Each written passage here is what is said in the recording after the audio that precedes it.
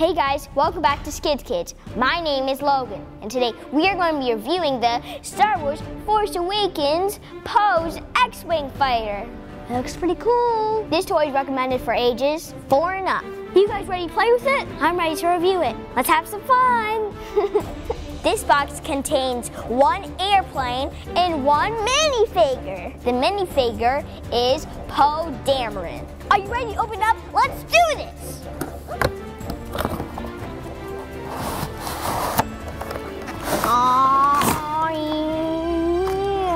So it looks like you have to put it together. Dad, come help me put this together.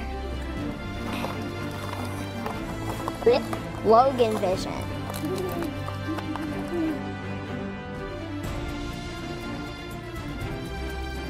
I got the X-Wing. This is what it looks like all built. The glass door can open and close.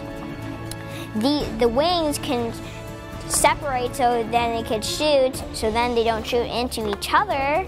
There's a yellow R2-D2. That's interesting. Then there is a missile below the plane that it can shoot to kill the Death Star, like this.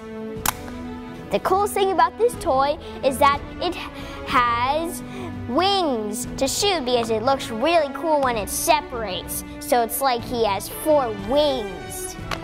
And there's also a thing to, so when he's, when he's trying to land, this could come out and hold it. But I prefer like this because you never want a leg to help you fly because you don't use legs to fly. I would rate this toy 8.5 out of 10. These are one of the better Star Wars toys. I'm going to play around with it right now.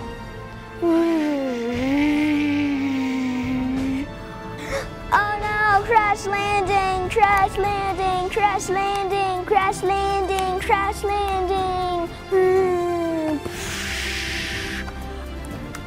Okay, so that was fun. So after playing with this toy, I think it's pretty awesome. I think you guys will think the same. So thanks for watching this episode of Skitz Kidz Review. See you next time. The force is with you.